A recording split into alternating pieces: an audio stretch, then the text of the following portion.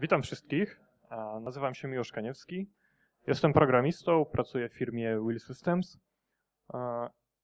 Zajmuję się trochę produktami, które wykorzystują TLS-a i właśnie o TLS-ie chciałbym dzisiaj Wam opowiedzieć. A w szczególności o nadchodzącej dużymi krokami nowej wersji TLS-a e, numer 1 i 3. E, Na początek kilka słów o tym, czym jest TLS. W skrócie, e, jest to protokół bezpieczeństwa, który zapewnia nam e, następujące rzeczy. Po pierwsze, zapewnia nam poufność transmisji. Chodzi o to, żeby nikt nie mógł podejrzeć danych, które przesyłamy kanałem komunikacyjnym. Druga rzecz to TLS zapewnia nam uwierzytelnienie, czyli TLS gwarantuje nam, y, że osoba, z którą się łączymy, jest faktycznie tą osobą, za którą się podaje. Ostatnia rzecz to jest integralność, czyli TLS gwarantuje nam, że dane, które wysyłamy i dane, które odbieramy, w żaden sposób nie zostaną zmodyfikowane. Czyli to, co faktycznie odbierzemy, jest tym, co nadawca chciał nam przesłać. TLS-a najpewniej znacie z protokołu HTTPS, czyli właśnie protokołu HTTP, HTTP e, który, który wykorzystuje pod spodem e, TLS-a. No w skrócie TLS to jest ta zielona kłódeczka. E, Kilka informacji o tym, jak dotychczas wyglądał rozwój TLS-a. TLS powstaje w latach 90. e, e, Zostaje stworzony przez firmę Netscape na potrzeby ich przeglądarki. Pierwsza wersja powstaje w roku 95, to jest y, dość dziurawa wersja 2.0. Potem w roku 96 mm, powsta- powstaje wersja 3.0. E, Wtedy jeszcze nazywa się to wszystko SSL-em. Dopiero w roku 99 powstaje coś, co nazywa się TLS 1.0. E, Ta zmiana nazwy wynika z tego, że TLS jest pierwszą wersją, e, nad którą pieczę miał IETF, czyli to jest ta organizacja, która e, wydaje wszystkie RFC. Więc TLS jest pierwszym takim e, ogólnym standardem. SSL wcześniej to jest standard tworzony przez, przez jedną firmę. E, Jako ciekawostkę mogę powiedzieć, że firmą, która odpowiada za, za tą zmianę nazwy, bo, to, to jest trochę problematyczne. Do dzisiaj używamy obu tych terminów. Często, często pada pytanie, czym SSL różni się od TLS-a. E, Natomiast ponoć firmą, która, która odpowiada za, za zmianę nazwy, y, był Microsoft, któremu, który w tym czasie konkurował z Netscape'em e, i, stwierdził, że on nie chce, żeby to dłużej nazywało się SSL, e, że, że potrzebna jest zmiana nazwy. Bo TLS 1.0 nie różnił się zasadniczo SSL 3.0 jakoś bardzo. Te protokoły były od siebie zbliżone. Rozwój SSL-a był też e, istotny, przynajmniej tak można w wielu źródłach znaleźć, z tego powodu, że pozwolił on na rozwój rynku e-commerce, czyli pozwolił po prostu na handel w sieci. E, Wcześniej po prostu nie było możliwości robienia tego w sposób bezpieczny, a TLS dał, dał taką możliwość. E, Natomiast moje wspomnienia są trochę inne i wydaje mi się, że jednak nie było z tym aż tak pięknie. To znaczy wprowadzenie SSL-a było ważnym, ważnym krokiem, natomiast jeszcze przez wiele lat później e, wiele rzeczy w internecie nie odbywało się e, za pomocą protokołu HTTPS, tylko sz- szło po zwykłym HTTP. E, Być może pamiętacie, jeszcze do niedawna często na różnych formularzach logowania logowanie po SSL-u było opcją, było dodatkiem, natomiast domyślnie logowaliśmy się po HTTP. Więc tak naprawdę SSL, y, TLS, przepraszam, ja będę używał y, terminu TLS, przynajmniej postaram się w dalszej części tej, tej prezentacji. Tak naprawdę TLS dość od niedawna jest e, naprawdę powszechnym protokołem. Wydaje się, że już wyszliśmy z tego etapu, kiedy naszym problemem było to, że TLS nie jest używany. A teraz nasze problemy są trochę gdzie indziej, bo TLS jest wszędzie używany. No i mm, To też skutkuje tym, że jeżeli w TLS-ie pojawiają się jakieś problemy, no to e, dotykają one e, e, wielu, wielu usług.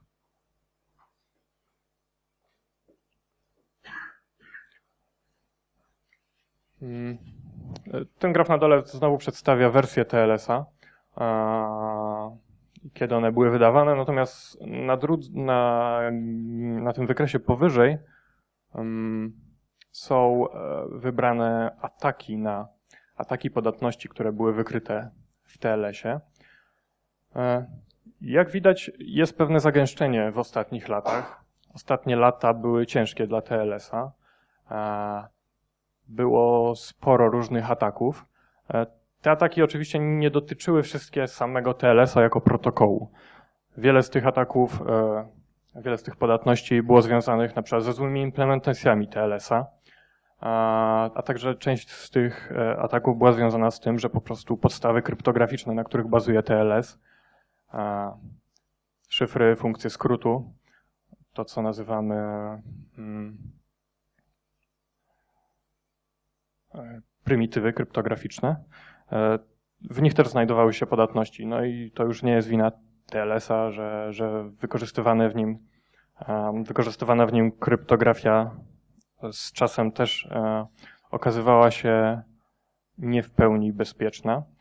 E, w związku z tym TLS e, musi się ciągle rozwijać. Musi się rozwijać po to, żeby reagować na, na te podatności, które są w nim, w nim odkrywane. I dlatego też w niedługim czasie powinna pojawić się nowa wersja TLS-a. E, TLS być może 1 i 3, o tym jeszcze za chwilę. Hmm. Jakie, jakie są podstawowe cele przy tworzeniu nowej wersji TLS-a? One to są cele, które pojawiłyby się przy każdej wersji TLS-a, ale, ale warto o nich powiedzieć. Hmm. Po pierwsze, chcielibyśmy, żeby TLS w nowej wersji był prostszy. Dotychczas było tak, że każda kolejna wersja TLS-a dodawała nowe rzeczy. I z każdą kolejną wersją TLS-a mieliśmy coraz większą złożoność tego protokołu. W przypadku nowej wersji twórcy założyli sobie, że warto byłoby TLS-a odchudzić. Warto byłoby go uprościć. Przede wszystkim dlatego, że prostszy protokół jest łatwiejszy do analizy, jest w nim mniej, mniej możliwych podatności i z tego względu powinien być bezpieczniejszy. E, bardzo często czytając listy mailingowe osób, które zajmują się rozwojem TLS-a, można właśnie znaleźć e, różnego rodzaju sformułowania, że róbmy to prościej, uprostrzmy to. W ogóle dużo rzeczy wyrzućmy.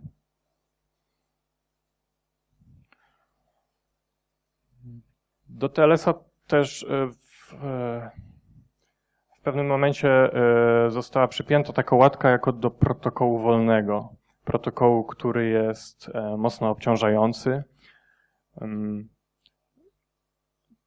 To, to na czym polega obciążenie wynikające z TLS-a, to można podzielić na, na dwie kategorie. Po pierwsze jest to obciążenie, które wynika z kryptografii, która musi być wykonywana. E, I to jest obciążenie hardware'owe przede wszystkim. Natomiast w tym aspekcie w ostatnim czasie dużo się zmieniło. E, wiele, wiele rzeczy jest wspieranych teraz hardware'owo, jeżeli chodzi o operacje kryptograficzne i wydaje się, że obciążenie mm, hardware'owe nie jest już takim problemem, jak było. E, natomiast jest jeszcze obciążenie na poziomie sieci. To znaczy jest czas, który jest potrzebny na to, żeby ustanowić e, sesję TLS-ową. I ten czas nie jest krótki. I tutaj twórcy nowej wersji również postawili sobie za cel uproszczenie sieciowego aspektu TLS-a w taki sposób, żeby działał on po prostu szybciej.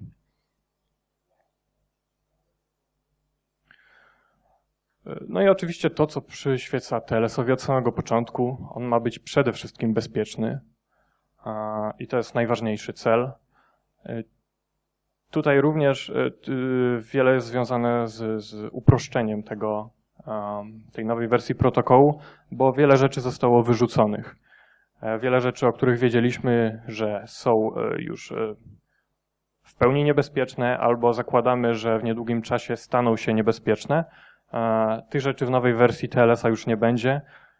W teorii wszystko, zwłaszcza jeżeli chodzi o kryptografię, co znajdzie się w nowej wersji TLS-a, to powinny być rzeczy, które, które uważamy za w pełni bezpieczne. Kilka słów o tym, jak wygląda rozwój takiego protokołu, jak, jak, jak to wygląda od strony technicznej, że nowy protokół powstaje. E, tak jak mówiłem, e, za TLS-a e, odpowiada organizacja IETF. To jest organizacja, która odpowiada za rozwój internetu w skrócie. Oni robią bardzo dużo. To jest ciekawa organizacja, ona jest bardzo niesformalizowana. To znaczy jest, jest jakiś tam sekretariat, który zarządza, ale to jest kilka osób. Natomiast całość tej organizacji, to jak to działa, opiera się przede wszystkim na autorytetach. Po prostu są grupy robocze, w której są ludzie, którym się ufa, którzy mają doświadczenie, mają ten autorytet i oni sterują pracami tych grup. E, I tak samo jest w przypadku TLS-a. Jest po prostu grupa osób, która tworzyła poprzednie wersje, która działa e, w, środowisku TLS-a e, i to te osoby mm, kierują całym tym rozwojem. Prace nad TLSM 1 i 3 rozpoczęły się w 2014 roku. One się przedłużają zdecydowanie, to znaczy nikt nie mówił, ile to będzie trwało, natomiast wstępne jakieś założenia były takie, że w 2015 roku ten protokół będzie gotowy. Kończy się rok 2016 i, i wciąż nie wiemy, a, kiedy będzie nowa wersja TLS-a. Co ciekawe, rozwój samego Mm, to się nazywa teraz draft, natomiast ten draft potem zostanie przekształcony w pełnoprawne RFC, e, ale ten draft znajduje się na GitHubie. E, wszystkie zmiany są, e, są w pełni widoczne. Generalnie cały ten proces jest bardzo, bardzo transparentny. Główny rozwój odbywa się albo na listach mailingowych i ETF. Te listy są oczywiście dostępne. Każdy może się zapisać, każdy może zabrać głos. A ponadto są co jakiś czas cykliczne spotkania organizowane. E, one są świetnie udokumentowane, są, są nagrania wideo, są, e, są notatki, więc wszystko, wszystko jest e, absolutnie jawne. I aktualnie mamy draft numer 17. On kilka dni temu się, się pokazał. Założenie jest takie, że to już będzie ostatni draft. I jeszcze jedna rzecz. Mówię o TLS-ie 1 i 3, bo dotychczas wszyscy mówili o TLS-ie 1 i 3. Natomiast jakiś czas temu pojawiła się propozycja, żeby nazwać e, tę nową wersję TLS-em 2.0. Ze względu na to, że zmiany w protokole są jednak e, zasadnicze, co mam nadzieję pokażę w dalszej części. E, I, wydaje się, że jest jakiś tam konsensus i że faktycznie ten TLS będzie oznaczony numerem 2.0.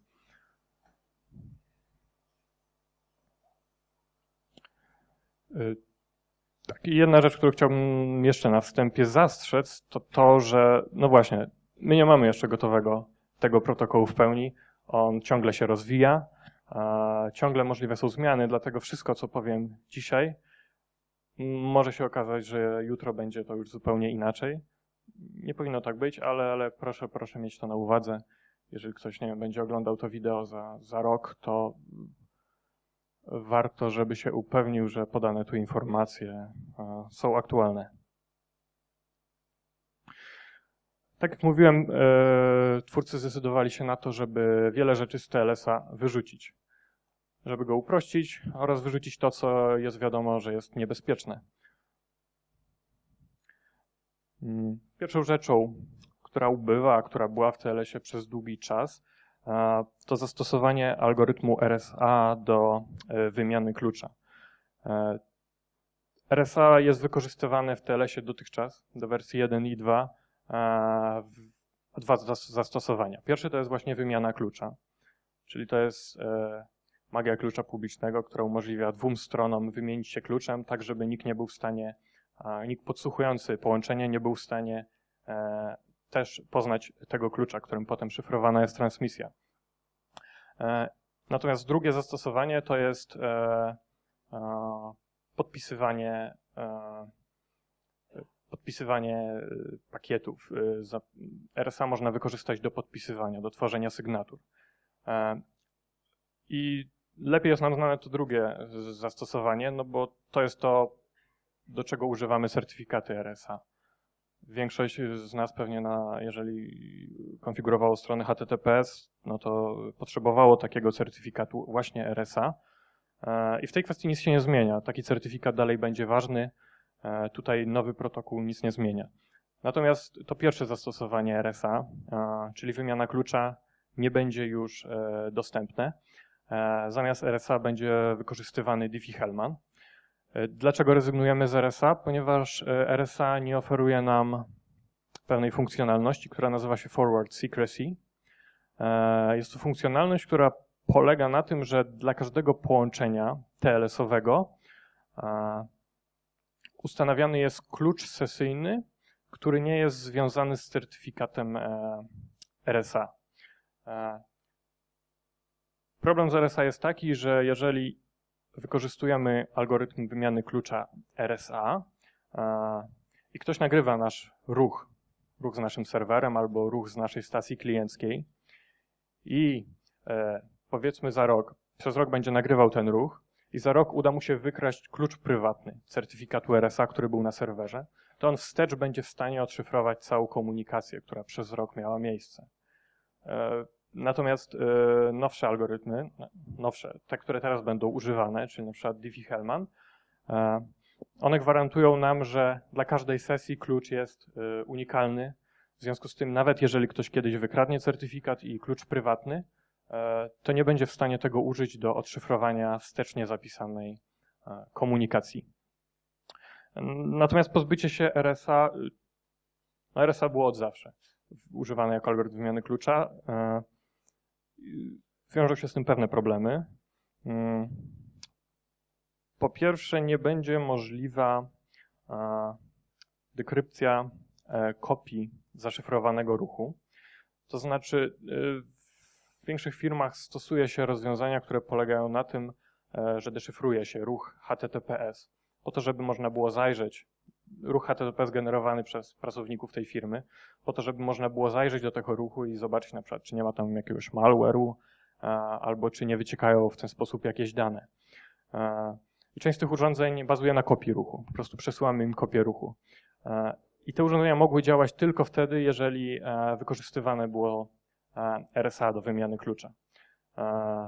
Bo po prostu wgrywaliśmy na, taką, na takie urządzenie klucz prywatny certyfikatu RSA i mogliśmy deszyfrować ten ruch. Teraz nie będziemy mogli tego robić.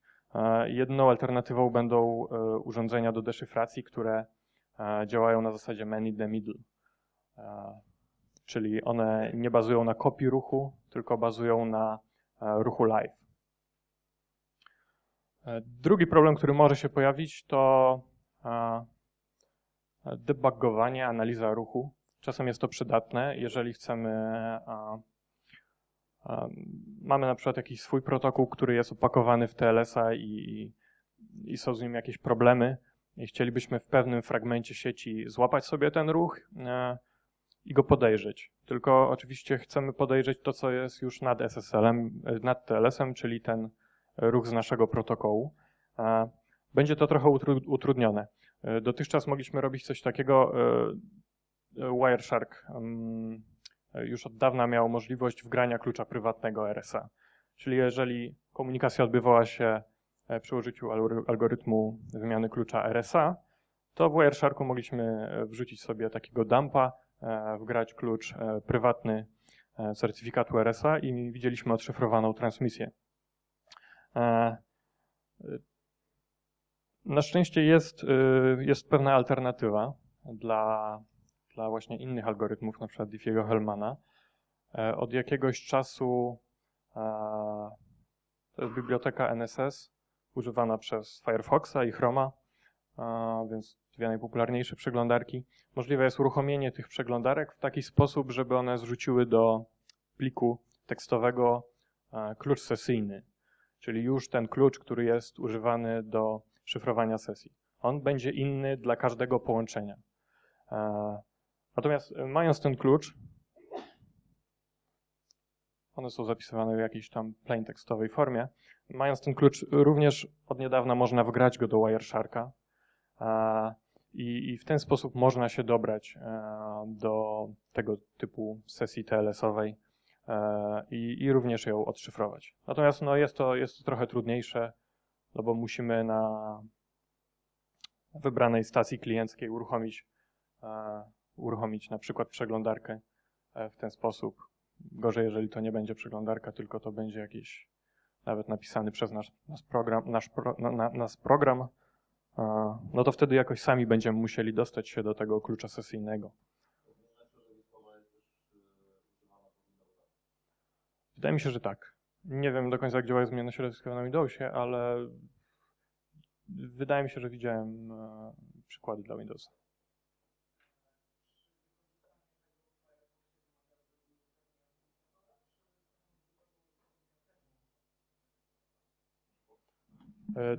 Padło pytanie, czy, czy to wymaga uprawnień administratora.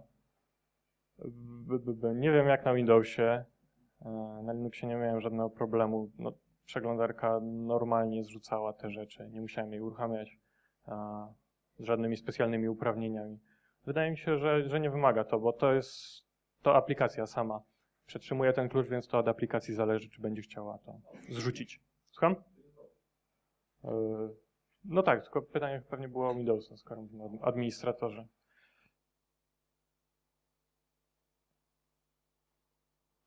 Co jeszcze znika z, z nowego TLS-a? Znika e, algorytm e, szyfrowania RC4, który jest już powoli uważany za nie do końca bezpieczny. Znika tryb CBC. E, to jest e, tryb, w jaki sposób e, algorytmy symetryczne szyfrują kolejne bloki danych i ten tryb okazał się też być nie do końca bezpiecznym. Było w ostatnim czasie kilka ataków, które właśnie wykorzystywały podatności w tym trybie. Mm. Znikają funkcje skrótu SHA-1, MD5, które też już nie są uważane za w pełni bezpieczne. Znaczy SHA-1 jest jeszcze bezpieczny, ale y, mając dużą moc obliczeniową, y, w teorii jest możliwe, że, że niedługo, niedługo będzie się dało będzie się dało go łamać. Dlatego też twórcy TLS-a no, starają się iść, iść do przodu, nawet jeżeli coś teraz nie jest, jest jeszcze w miarę bezpieczne, no to, to my już takich rzeczy w nowym protokole nie chcemy. Chcemy mieć to, co jest w pełni bezpieczne. Nie, to są różnice względem TLS-a 1.2, czyli tego, który jest aktualnie najpopularniejszy. Znika możliwość renegocjacji. To był taki feature właśnie w dotychczasowych wersjach TLS-a. Można było sobie w trakcie transmisji e, zrobić request, że chcemy wygenerować nowy klucz e, dla sesji. To nie, nie będzie już e, możliwe. Po prostu będzie trzeba nawiązać całkiem nową sesję. I znika też możliwość kompresji. Główny argument był taki, że po prostu nie wiemy, jak robić bezpieczną kompresję. Kompresja została dodana w jednej z poprzednich wersji TLS-a i, i dość szybko okazało się, że jest bardzo problematyczna i teraz jest w ogóle nieużywana.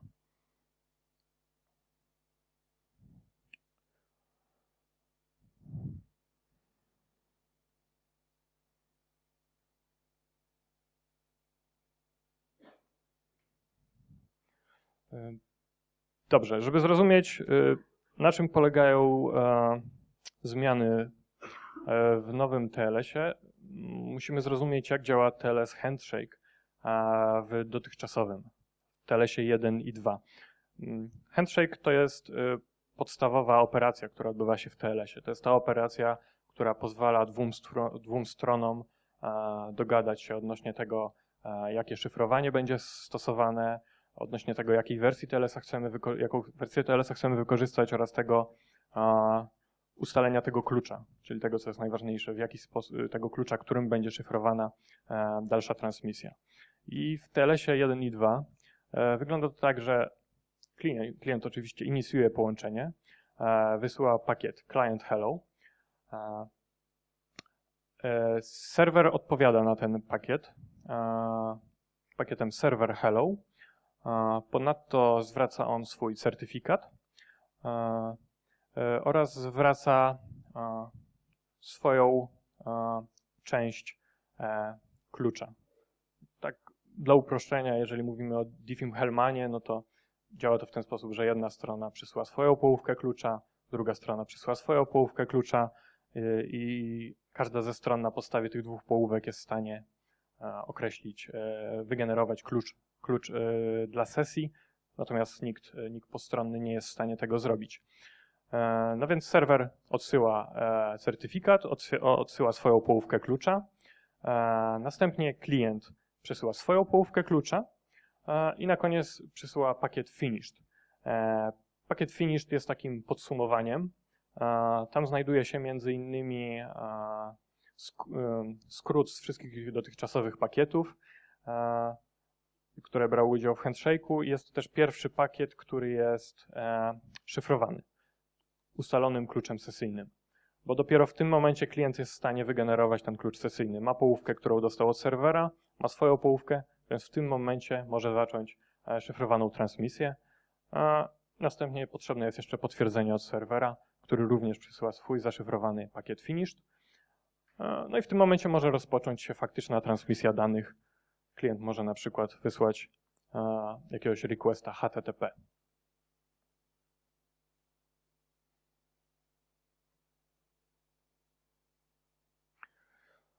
Dobrze, i teraz co się zmienia w TLS-ie 1 i 3? No więc padło pytanie, czy, czy można ten model z TLS-a 1 i 2 jakoś uprościć? No i okazuje się, że można go uprościć. E, możemy po prostu e, w pierwszym pakiecie, który klient wysyła, już umieścić jego połówkę Diffiego Hellmana. Nie musimy czekać na to dłużej. E, I w ten sposób serwer po otrzymaniu tej połówki i po wygenerowaniu swojej połówki może natychmiastowo zacząć szyfrowane połączenie. To, co jest na czerwono, to jest, to jest szyfrowane. W związku z tym cały ten e, proces jest znacząco uproszczony, e, ponieważ nie jest on rozłożony na tyle etapów. E, I, i no, jaki jest główny, główny tutaj zysk? No, zysk jest taki, że mamy o połowę mniej pakietów, które musimy przesłać. W TLS-ie 1 i 2 musieliśmy wykonać, musieliśmy przesłać cztery pakiety we wszystkie strony, czyli runtime trip wynosił 2 musieliśmy zrobić dwa razy pokonać tę samą ścieżkę. Natomiast w TLS 1 i 3 to spada o połowę. Będziemy mieli e, handshake, który potrzebuje tylko, tylko jednego, jednego runtime trip. E, no i to jest oczywiście duży zysk. To jest duży zysk przede wszystkim dla, e, dla serwerów, zwłaszcza dla tych, które serwują dużą ilość danych. E, no to są cenne milisekundy, które po prostu zyskujemy tutaj, a nic w zasadzie nie tracimy. A całkowicie też jako bonus dostajemy to, że już tutaj na przykład certyfikat jest szyfrowany. W, w TLS-ie 1 i 2 pierwszym szyfrowanym pakietem był finished. Czyli to wszystko, co było wcześniej, było jawne. Co też może stwarzać pewne problemy. Chcemy szyfrować jak najwięcej. I TLS 1, 1 i 3 umożliwi nam to. Bardzo niewielka część handshake'u będzie nieszyfrowana, będzie przesyłana tekstem jawnym.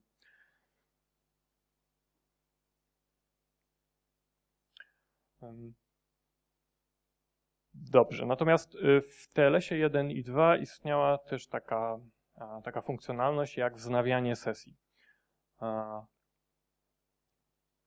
Pomysł jest taki, klient łączy się z nami pierwszy raz, wykonujemy te wszystkie kosztowne operacje kryptograficzne, wykorzystujemy, wykonujemy, musimy, przesyłamy te wszystkie pakiety, cztery, y, cztery pakiety są przesyłane, podwójny runtime trip. Natomiast pytanie, czy przy każdym kolejnym połączeniu również musimy e, wykonać tą czasochłonną operację? E, być może nie ma takiej potrzeby. E, I faktycznie możemy założyć, że klucz, który wynegocjujemy przy pierwszym połączeniu, będzie też wykorzystywany przy kolejnych połączeniach. I w ten sposób działało, działało właśnie wznawianie sesji w TLS 1 i 2, tak zwane resumption. Przy pierwszym połączeniu klient zapisywał sobie, e, klient otrzymywał od serwera ID e, i następnie mógł wykorzystać to ID przy kolejnym połączeniu. Po prostu przesyłał to ID. Serwer miał zapisany u siebie stan e, poprzedniego połączenia, to znaczy miał zapisany ten klucz sesyjny, który poprzednio został wynegocjowany I dzięki temu nie było potrzeby ponownej wymiany klucza. Nie było potrzeby wymiany tych połówek Diffiego Hellmana. W związku z tym udawało się e, utrzymać, otrzymać uproszczony model, e, który znowu dawał nam round trip w postaci e, w postaci mogliśmy nawiązać połączenie wykonując tylko jeden jeden round trip. No dobrze, więc skoro w TLS-ie 1 i 2 e, domyślnie mieliśmy podwójny round trip, w przypadku wznawiania sesji mieliśmy pojedynczy round trip, to skoro w TLS-ie 1 i 3 e, domyślny round trip wynosi 1, to jaki będzie round trip w wypadku, kiedy zdecydujemy się również na wznawianie w sesji w TLS-ie 1 i 3? E, No i tutaj tutaj otrzymujemy bardzo e, interesujące rozwiązanie, czyli zero round train trip. Czyli jest to możliwość e, wysłania e, danych, które już faktycznie chcemy wysłać, bez konieczności e, wykonywania wcześniej jakichkolwiek operacji. Po prostu. E, tak samo jak w telesie 1 i 2, klient może posiadać jakieś tam ID, e, zapisane ID sesji i podczas kolejnego połączenia on wysyła to ID do serwera docelowego, ale oprócz tego w tym samym pakiecie przesyła już, e, przesyła już e, dane, dane do docelowego serwera. To, co faktycznie chce zrobić, na przykład request HTTP. E, to oczywiście wymaga też tego, żeby mm, klient miał u siebie zapisany ten klucz sesyjny, który wcześniej został wynegocjowany i on po prostu używa ten klucz sesyjny e, z poprzedniej sesji do tego, żeby zaszyfrować, e, zaszyfro- zaszyfrować te dane, które chce prze- przesłać do serwera. E, Serwer również zawiera, serwer widzi taki pakiet, widzi ID, które ma u siebie zapisane, znajduje klucz, który wcześniej został zapisany dla tego ID, jest w stanie od razu odszyfrować taką wiadomość. Jest w stanie od razu obsłużyć request klienta i od razu odpowiedzieć. Więc y, tutaj de facto poza kosztami e, jakiegoś tam narzutu e, e, te pakiety są powiedzmy no, są większe, bo i tak musimy przesłać e, client hello, serwer hello, serwer musi odpowiedzieć, serwer hello. E, to nie mamy straty żadnego round train trip e, na to, żeby poczekać do czasu, aż będziemy mogli wysłać e, do serwera faktycznie jakiś request. request. I, I wydaje się, że to, to może być e, bardzo, bardzo przydatne. Mm. Natomiast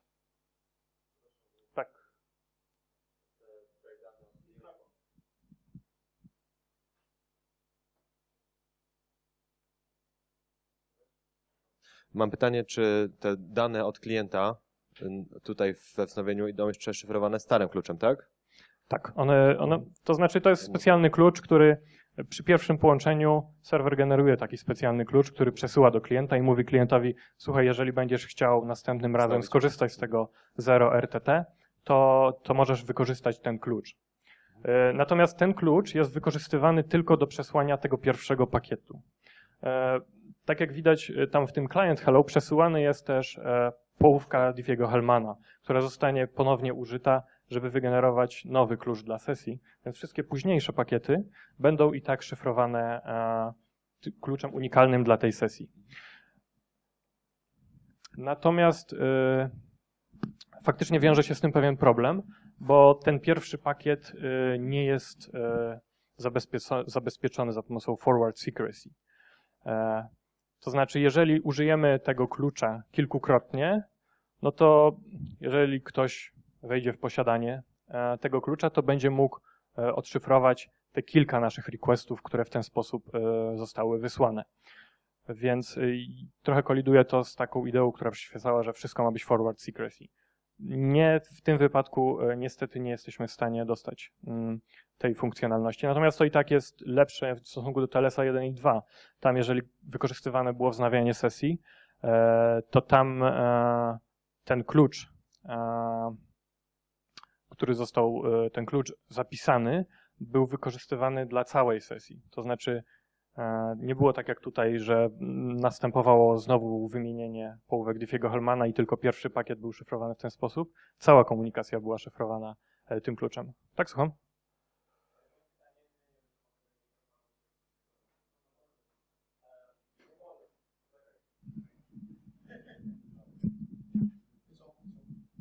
Czy jest jakaś możliwość z poziomu aplikacji rozpoznania tego, że jakiś pakiet konkretny będzie wysłany w trakcie odnowienia sesji, żeby nie wysyłać w nim jakichś poufnych danych?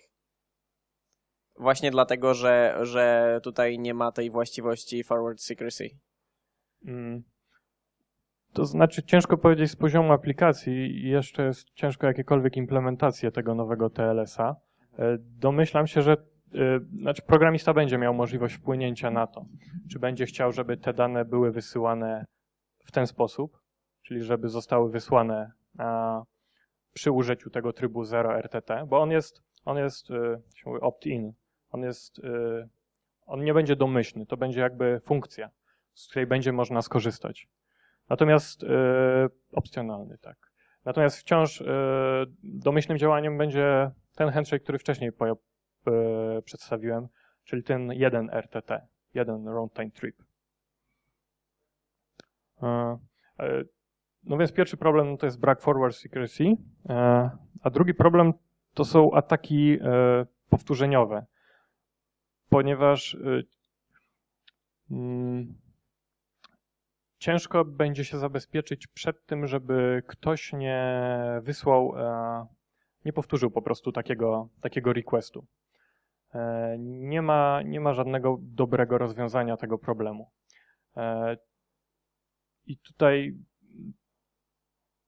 prawdopodobnie będzie to działało w ten sposób, że właśnie z tego 0 RTT będziemy korzystać tylko wtedy, jeżeli będziemy mieli do przesłania e,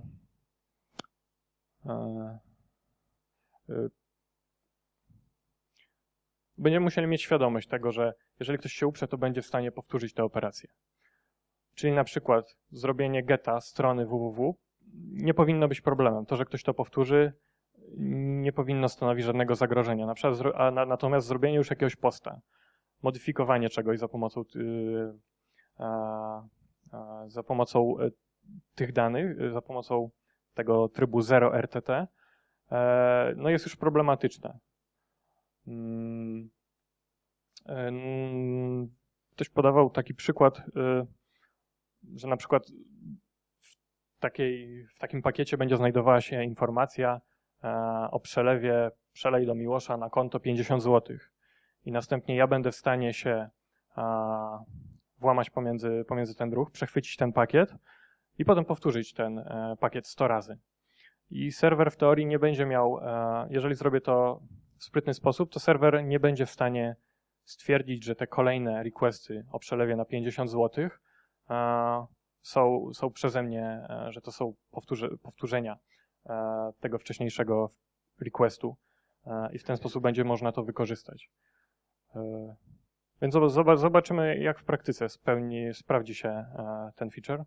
Natomiast wydaje mi się, że, że jest on ciekawy, że faktycznie to jest interesujące, mm, no, że narzut y, powodowany przez TLS-a w teorii, w praktyce, e, w uproszczeniu e, będzie zerowy.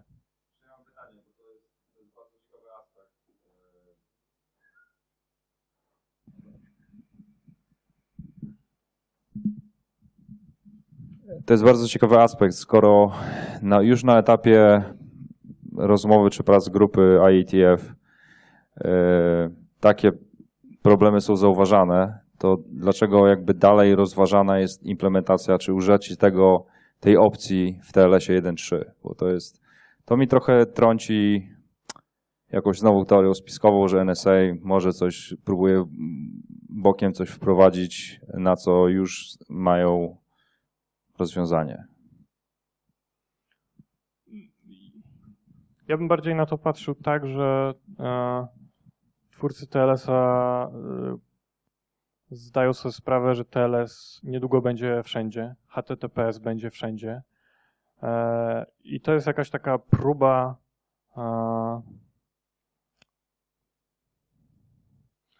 mm, ulżenia.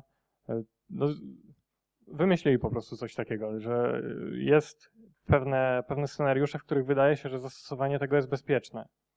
E, Natomiast zgadzam się, że to narzuca pewną odpowiedzialność na programistę, który korzystając z tego, e, no jeżeli zrobi to źle, to faktycznie będzie mógł, e, będzie mógł zaszkodzić sobie czy innym. E, Myślę, że, że ta sprawa będzie jeszcze dyskutowana, ale tak jak mówię, to jest, to jest opcjonalne. Tego domyślnie nie będzie. Zobaczymy, ale faktycznie jest to wiem, kontrowersyjne. Może tak to można by nazwać. A chociaż ja bym bardziej powiedział, że nowatorskie.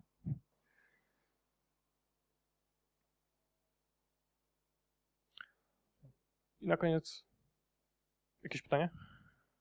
Tak, wydaje mi się, że tutaj jakimś rozwiązaniem byłoby dodanie jakiegoś nonsa w tym, w tym, komunika- w tym pierwszym komunikacie, tak? I później sprawdzenie, sprawdzenie po drugiej stronie, czy ten nons wystąpił, tak? Znaczy, jeżeli, jeżeli byłby to zwykły licznik, to może, to może, to może by stanowiło problem dla, ym, y, dla, dla później weryfikacji komunikatu, komunikacji, które przy, która przychodzi, jeżeli są, jest ta sama sesja wznawiana y, y, równocześnie przez kilka różnych, przy, mm, przez kilka różnych no, połączeń, tak? No, w różnych wątkach, tak? I wtedy jest jakiś, jakieś, yy, mm, jakiś problem mógłby być z, yy, z race condition, tak? Natomiast Natomiast jeżeli ten nos, nos byłby w jakiejś tam, w jakiejś mapie mm, przechowywany, no to, to wydaje się, czy, czy w secie, tak, to, to wydaje się, że z, z dokładnością do, do, do, do, do implementacji, która, która, która no, być może mogłaby być problematyczna, gdyby tych, tych wznowień miało być jakoś bardzo dużo i, i, i pamięciowa złożoność by, by rosła w związku z tym. Ale to, to pewnie też można jakoś ograniczyć. Wydaje się, że, że są jakieś, jakieś mitygacje, może tak na, na pierwszy rzut oka, tak, nie bez głębszej analizy tego problemu, że wydaje mi się, że jakieś mitygacje tego mogłyby, mogłyby być możliwe. Domyślam się, że jakieś są, ale też domyślam się, że e, były jakieś powody, dla których przynajmniej na razie e, ten problem ciągle pozostaje. Przyznam się, że to jest dość skomplikowane. e, Nie zagłębiałem się w to jakoś, jakoś szczególnie. E, Odsyłam do, do, do list mailingowych. Tam naprawdę fajnie się ta dyskusja toczy i, i myślę, że, że dużo ciekawych rzeczy tam można, można, można odnaleźć.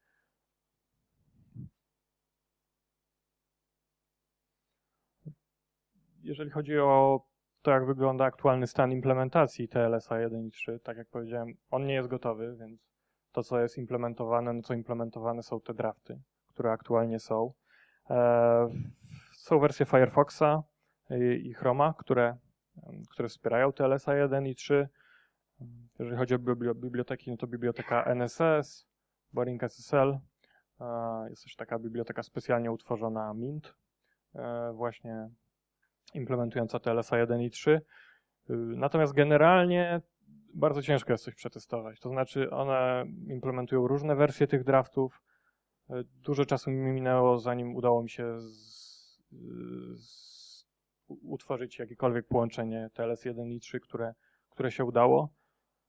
Więc jeżeli ktoś chciałby się bawić, to, to myślę, że jeszcze warto trochę poczekać. Jednak warto poczekać na to, aż to już będzie gotowy protokół, wszyscy będą wiedzieli, co, co implementować wtedy jak najbardziej zachęcam.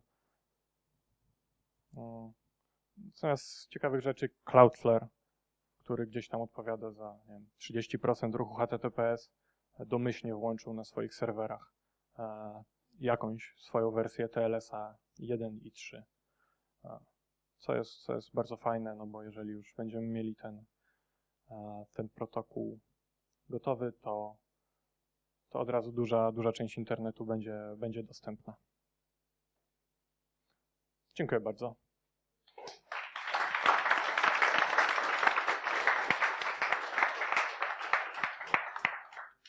Być może ktoś ma jakieś pytanie jeszcze? Ja mam, ja mam jeszcze pytanie, ponieważ skorzystam z tego, że mam mikrofon. E, Czy orientujesz się, jak, jak wyglądały dyskusje e, po stronie grupy roboczej ITF e, przy okazji projektowania e, TLS-a 1.3 e, w związku z zastosowaniem kryptografii krzywych eliptycznych? Bo przypomnę, w zeszłym roku e, amerykański Instytut Standardów e, NIST wydał pewną rekomendację, żeby z takiej kryptografii nie korzystać, przestać z niej korzystać. Co wywołało sporą dyskusję w, świecie e, kryptograficznym. Czy, czy tego typu dyskusje też się przełożyły na, na projektowanie e, 1.3? To znaczy wiem, że w 1 i 3 doszły krzywe, które nie są e, tymi nistowymi, bo jest ta grupa nistowych krzywych i w poprzednich wersjach Telesa były chyba tylko one. Natomiast teraz pojawiły się też e, inne krzywe, które nie są od nistu. To tyle, tyle w tym temacie wiem.